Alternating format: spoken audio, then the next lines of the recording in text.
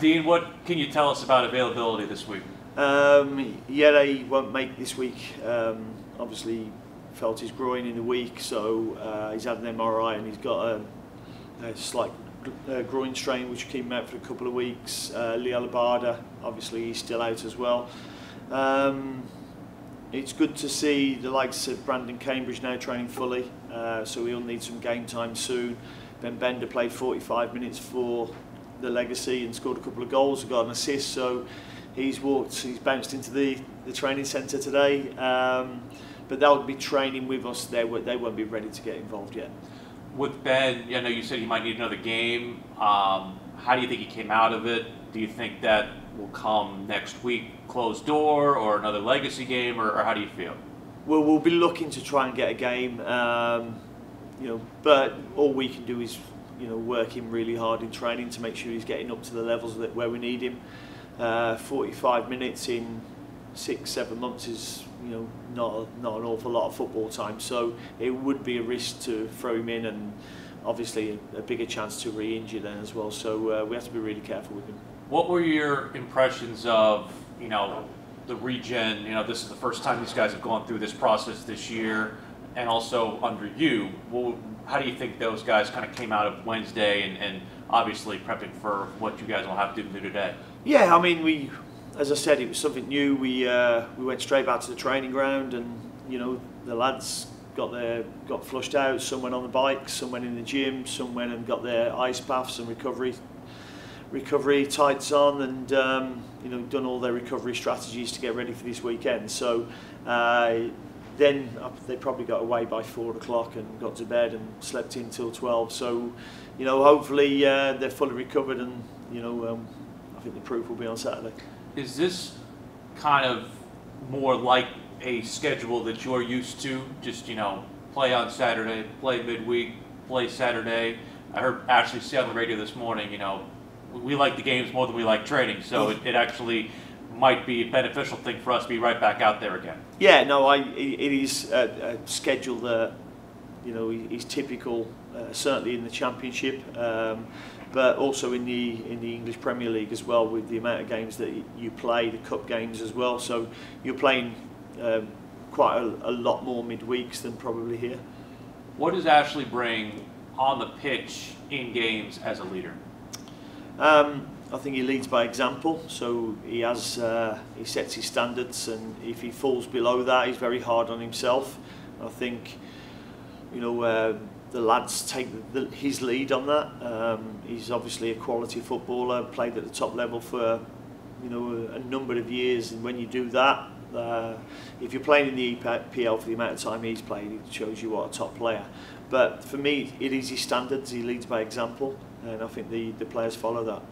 When you have a game like Wednesday that was so congested, um, what is the what is the antidote? What is the liquid plumber? How do you get that uncongested and more fluid. Yeah, I like the word congested. I found it turgid, but it was uh, it wasn't a pretty game by any means. Um, we know we can play a lot better, um, certainly with the ball and our use of the ball. Um, but again, I was really pleased defensively with how hard we worked as a, as a team, and um, you know we're getting better. We're starting to learn about each other. We had, you know, we had a, a full away debut and we had a full debut. You know. Um, on Wednesday night at Chicago with Tyger and um, JP. So we are we are getting new players and we're learning about each other and what what we need to do. The ends of stuff went through. Um, what are your thoughts now on that? Now that that door is closed and, and you guys have. Yeah, listen, we, we, we wish Enzo well. He's a really good person. Um, enjoyed working with him. Um, but, you know, sometimes the stars don't align and they haven't. And he's, uh, you know, we've he's found a club, we've accepted an offer, and he moves with our blessings, and uh, with you know, he goes with our thanks for all the work he's done for us. I know this is probably more of a Zoran question, but if they asked you, how would you like those two designated player spots filled in July?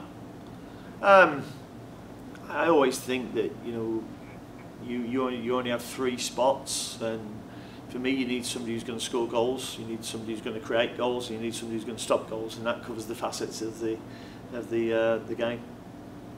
Cool. All right, thanks, Will. Uh, let's go to Steve Goldberg on the Zoom. Hey, Dean. Hey, Uh, Steve. How was the flight back from Chicago? How's the uh, esprit de corps of the team right now?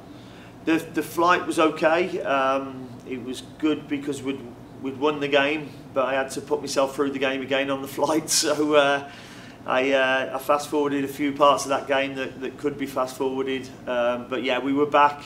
We were back two two thirty in the in training training facility at three o'clock. So um, yeah, it was uh, it was all doable.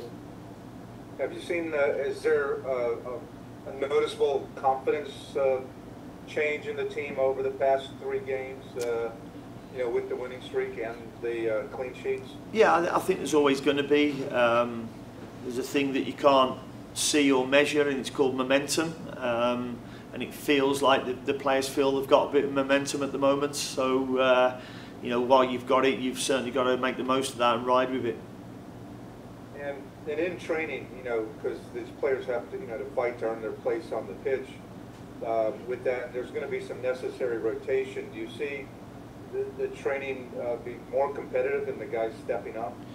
Yeah, no, it, it's been competitive anyway. We um, that's one of my demands that there's a good intensity whenever we train. Um, you know, train as you want to play.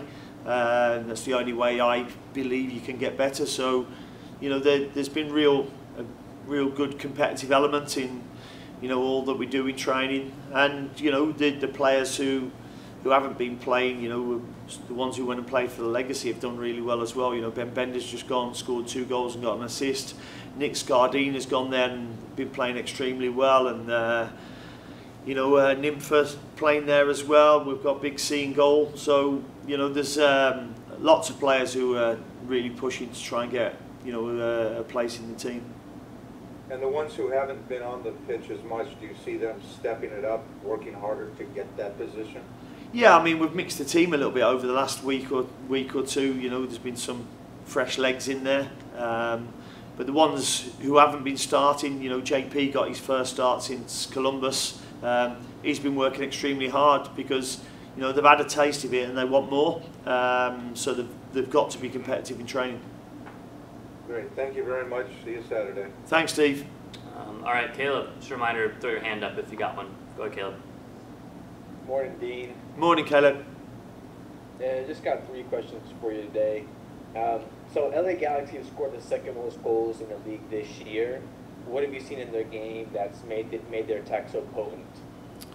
I think the quality within their team um, is there to see. It's you know an all-star team if, when you look at it. Uh, a lot of very good players, uh, well coached, um, quite aggressive going forward. They want to attack. They want to score goals. So yeah, it's going to be probably our toughest game of the season so far.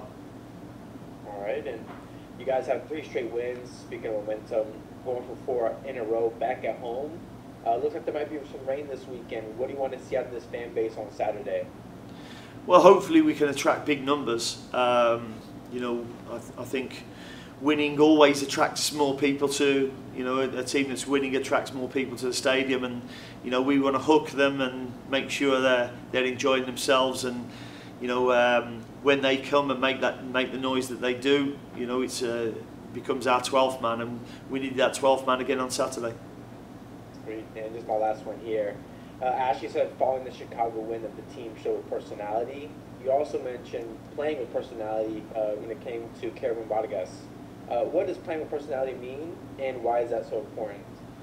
Well, I actually asked a question at half time because I didn't. I thought we lacked personality in the first half, certainly on the ball. Um, the personality for me is when you see players playing with an air of freedom. Um, you know, uh, being a really good teammate. You know, if somebody makes a mistake, then they're helping them out, and uh, you know, um, being a being a re- you, you actually see it that they're all connected, and that's what I wanted to see. And I, I felt first half we were a little bit off here in Chicago. Appreciate it. Thank you. Cheers. Okay, let's go to Nick Finelli, and then we'll finish with Bridget.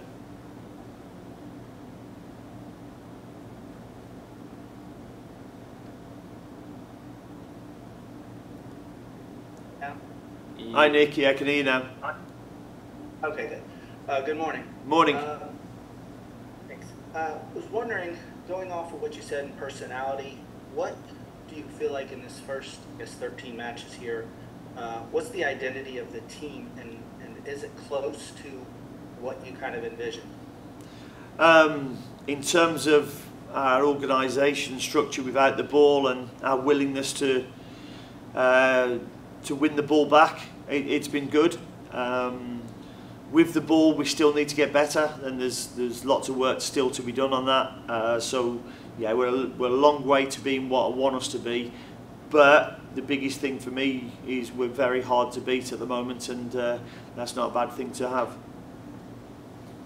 And as you approach this, this May, which has been so far a, a winning May, did you plan ahead of time with your coaching staff and things like this is what we need to do to be different or take that step up knowing we have a couple midweek games? Like how far in advance are you planning this and what are you doing to make sure you're getting the mix of all those younger players? And you know it sounds like your seems like your depth of your who's playing and what they're able to do it's it's all starting to mix in well that you can almost put anybody in there and, and the quality is not going to go down at all. Yeah, well, we, our plan is up to Atlanta because after that we've got um, we don't play the weekend after, so we've got a bit of a mini break there, and we can then reassess and then plan for the next four or five weeks.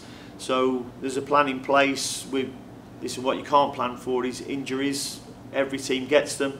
You just have to deal with that. And you know, Liel Abada, you know, getting injured wasn't part of the plan. So you know, uh, I've really liked Tyger Tyger Smalls in training and what he showed me when he's come off the bench. So you know, I wasn't afraid to give him his first start. And uh, you know, if young players, I've said before, if they're training well and, and looking the part, then they'll get an opportunity to go and play. So I think with these players who are coming through, like Tyger, it, it actually gives us more depth within our squad to to allow us to get fresher legs on the pitch during this congested period. And the last one, uh, with the LA Galaxy coming in, what I know you focus on on your players 75% of the time, but um, kind of like what Caleb said, what are you focusing on with them? I know their offense, but other things like what are the things that you need to, to see your team do well against them that may be different than what you're normally playing? Yeah, again against them because of the quality players, you know, Puig especially. Whenever we lose the ball, we've got to go and counter press quickly. Um, you know, we've got to take care of the ball when we've got it because uh, they're a team that enjoys possession and looks to to attack you whenever they have it as well. So, you know, we've got to look after the ball a lot better and you know connect a few more passes than we did in the week. Perfect. Thanks. Have a great day. Thank you, and you. Okay, Bridget with the last one. Hi, Coach. How are you doing today? I'm good, thanks, Bridget. Yourself? I'm doing well. Thank goodness it's Friday, right? Yeah, Poets Day. Um, back to that, you were just bringing. You were just speaking about Tyger. Uh, he got his first start on Saturday. Do you feel like he is consistent? Uh, he can play consistent minutes, um, long time, uh, every other game or every game? I think the biggest question with uh, for us with Tyger has been his ability to, and how long he can can manage a game. Um, you know, he had an injury during pre-season which hampered his his, his fitness um, fitness work. So you know, he's one of them players who needs to be a repeated sprinter. So you know, having that fitness level uh, is going to be big for him. So he's he's certainly not ready for a 90-minute performance yet. Um, but you know, I think we got 65 minutes from him uh, against Chicago, and I didn't think we found him enough uh, to get him enough ball to hurt the opposition. But without the ball, I thought he did really well. And the passing seemed pretty disjointed, and the forward attacking didn't seem to be there on on Wednesday night. Is that something that y'all worked on in practice, or will be working on in practice for this game tomorrow? Yeah, I mean, there's not an awful lot of practice time we've got between games, but you know the emphasis is certainly on us connecting a lot more passes, um, certainly through our midfielders, and you know we played uh, we played Galaxy in pre-season in Coachella. Um, you know we went and pressed them really well, so uh, won the game three 0 in the end. So we'll, we'll certainly be looking to do the same. Great. And then one last thing, we talked to Bender on Wednesday night. He said that um, he didn't mind getting some more bread if, if you liked it. Just let him know what kind. I, I certainly will. I'll, I'll be on to him now. Now you've told me that. Thanks, Bridget. Thank you, sir. You have a great day. And you, thank you. All right, thanks everyone. We'll wrap it up there. Appreciate the time.